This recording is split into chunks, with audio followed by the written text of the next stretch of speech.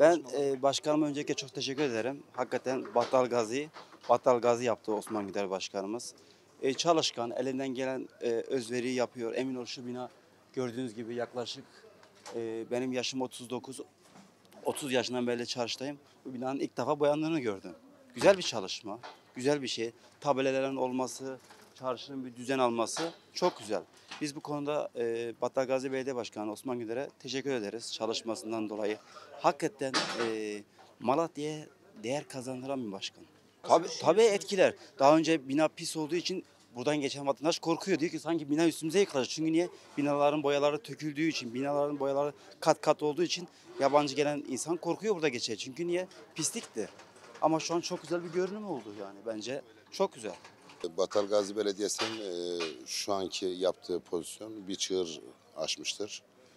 Bu Malatya'da değil, Türkiye genelinde böyle bir çalışma yoktur.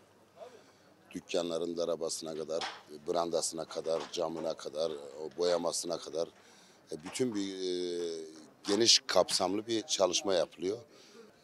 Yeni Hava Mahallesi zaten ticari alan olan bir kısım. Ee, içerisinde ayakkabıcıları, kuyumcuları, pamukçuları, zebzecileri, kasapları, balıkçıları ve Malatya'nın çoğu göresel e, bakıcılarını barındıran bir e, mahalle.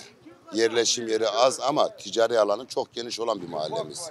Zaten Malatya'ya gelen turist ayakkabıcı pazarı, pamukçu pazarı, bakırcı pazarı, şire pazarı, şire pazarını da unuttum. Bunları kapsayan bir şekilde hepsi birbirine bağlantılı e, grup halinde olan bir işletmeler olduğu için ya bu yönde e, Sayın Başkanımızın e, çok büyük bir gayretleri var, ekibinin büyük gayretleri var. E, çalışmaları biz de yeri geldiğinde yerinde inceliyoruz. Başkanım bu konu hakkında bize yetki de vermiş. Eksik olan noktaları biz tamamlıyoruz. Biz Battal Gazi'de bütünüz.